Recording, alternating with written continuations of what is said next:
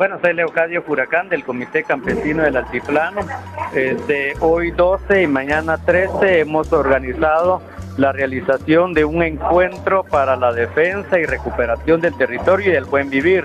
Esto se trata de que la población indígena campesina es importante que busca nuevas alternativas, nuevas rutas para obligar a un Estado excluyente, un Estado que no ha querido escuchar las diferentes demandas que hemos planteado de nuevas alternativas que puede favorecer a la población indígena campesina que buscamos el buen vivir. Para nosotros, la defensa y recuperación del territorio tiene mucho que ver para resolver la problemática de pobreza, de miseria, de hambre, de exclusión que vive la población mayoritariamente indígena en este país. Entonces, de eso estamos, estamos discutiendo estos dos días. Hay más de 200 representantes de diferentes comunidades de Sololá, de Huehuetenango, de San Marcos, de Chimaltenango, de Retaluleo, de Suchitepeques. Estamos aquí presentes más de 11 departamentos del país, incluso de, de, de Zacatepeques también y estamos haciendo una misma actividad el día 17 en las Verapaces, donde también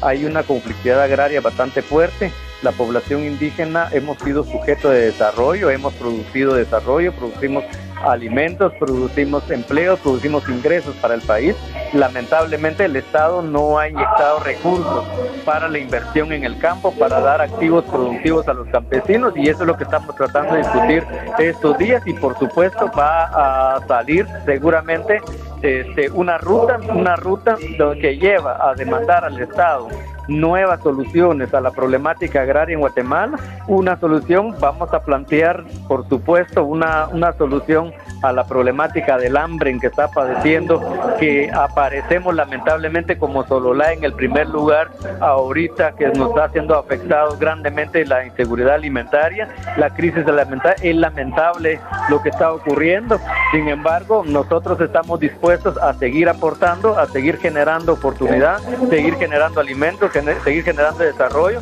y esperamos que el Estado ausente en las comunidades campesinas indígenas finalmente tome su papel realmente tome su rol como un Estado que debe promover el desarrollo, un Estado que debe garantizar la soberanía alimentaria a los pueblos y también un Estado que debe invertir para la producción de granos básicos en el país. Eso es lo que estamos discutiendo, eso es lo que vamos a, tener, una ruta crítica, una ruta eh, donde vamos a hacer propuestas alternativas de solución a estos graves problemas que hemos afrontado por muchos años la población indígena campesina de este país y que por supuesto desde la marcha de marzo hemos planteado soluciones a los tres poderes de Estado, seguiremos planteando soluciones, esperamos que el Estado finalmente las escuche y las ponga en práctica. Bueno, esta es una, nosotros hemos hecho propuestas de políticas públicas no para beneficiar única y exclusivamente a la población indígena campesina. Hemos presentado en el Congreso actualmente la, una iniciativa de ley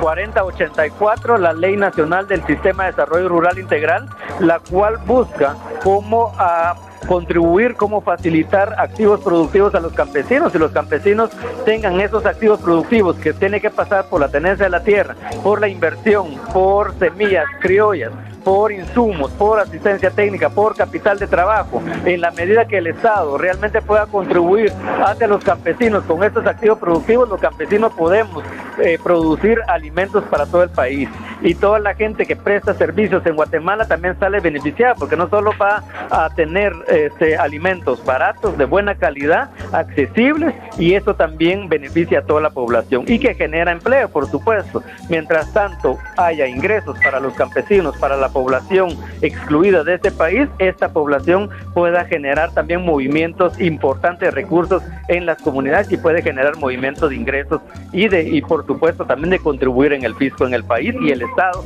puede tener mayor recurso para más obras sociales.